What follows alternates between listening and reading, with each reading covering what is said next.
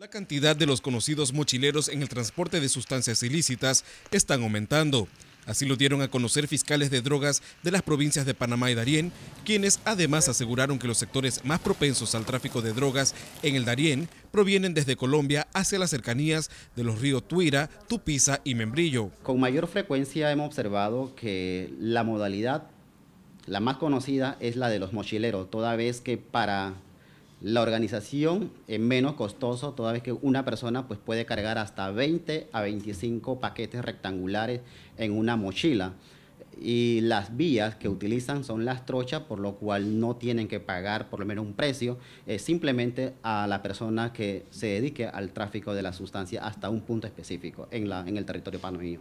Desde que inició el sistema penal acusatorio se han incautado unos 22.108 kilos de cocaína en toda la República de Panamá.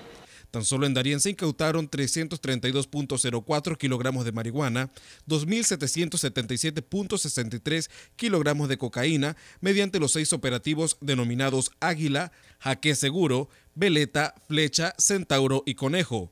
Los puertos del país están siendo utilizados para este tipo de actividad delictiva. Sí, efectivamente, la cifra que le acabo de dar incluye eh, los sucesos que se han dado en los puertos de Balboa, y de Colón, igualmente en, ambas, en ambos lados, tanto Pacífico y Atlántico.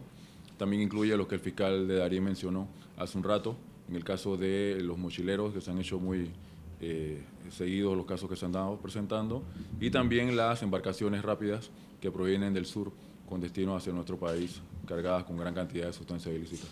Según estadísticas del Ministerio Público, hay un total de 29 personas bajo detención provisional. De estos, 23 son panameños, 6 son colombianos y un asiático.